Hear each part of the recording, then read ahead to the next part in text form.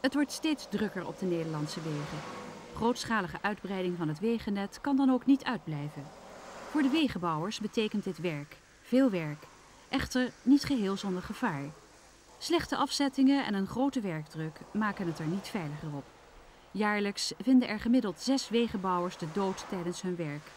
Reden voor de Bouw- en Houtbond FNV om tot actie over te gaan. De wegwerkers hoefden niet lang te wachten. De minister kondigde maatregelen af die de veiligheid moet bevorderen. Nou, een van de belangrijkste maatregelen is dat ze dus heeft toegezegd dat die, eh, die wegbeveiliging dus uh, anders uh, gaat, gaat plaatsvinden. Dat dat dus inderdaad gaat gebeuren op basis van beton en stalen wegbeveiliging. Een andere belangrijke maatregel is, is dat er in 1995 vanaf 1 november tot en met maart geasfalteerd mag, mag worden. Dat heeft dus tot gevolg dat de werkdruk van de wegwerker afneemt, dat hij in een langere periode dus zijn werkzaamheden kan, kan uitvoeren.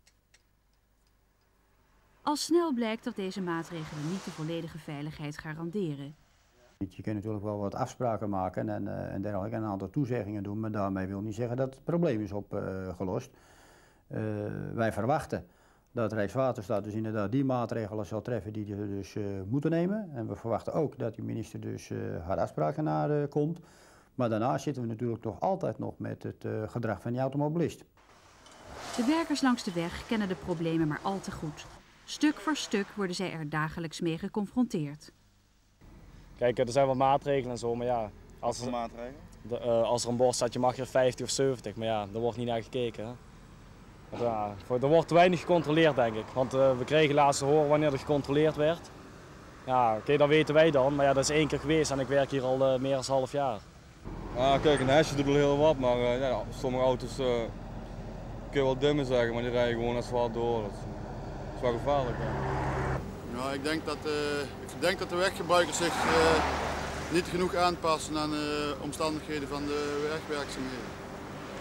Als die mensen rustiger rijden, komen ze er ook wel, maar ik denk niet dat ze daar de tijd voor hebben. Het kan zijn, dus, ja, het, is, het is gewoon link, het is opletten.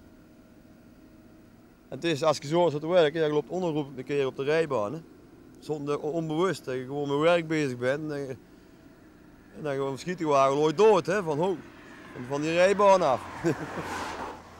Rijkswaterstaat probeert op haar beurt de richtlijnen op het gebied van veiligheid strak te hanteren, maar erkent dat het gedrag van automobilisten moeilijk te beïnvloeden is. Het, het komt op ieder werk komt het voor dat je uh, hoe heet het, uh, onveilige situaties tegenkomt. Maar als vervolgens de automobilist er zich niet aan houdt en als er vervolgens de, de de, de handhaving, als daar niet de hand aan wordt gehouden, ja, dan denk ik dat, dat het vrij snel gaat verloederen. En als je toch nagaat dat in het verleden projecten op wegen waar gewerkt werd, speciale politiepatrouilles op losgelaten werden, en dat je er nu om moet smeken om een patrouille op een weg te krijgen die enkel bezig is met handhaving, ja, dan vult u maar in. De politie is op de hoogte van de problematiek, maar is niet altijd in staat doeltreffend op te treden. Als wij de wegwerkers moeten garanderen dat zij dus uh, hun werkdag volledig veilig kunnen werken, dan zou dat inhouden dat ook de politie daar tijdens die werkuren uh, ingezet uh, zou moeten worden.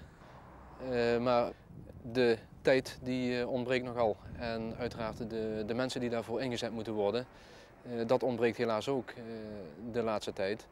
Zeker ja, gezien de reorganisatie.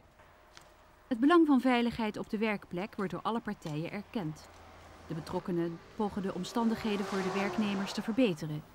Echter, als automobilisten onverantwoord hard blijven rijden, kan de veiligheid van de wegwerkers helaas nooit volledig gewaarborgd worden.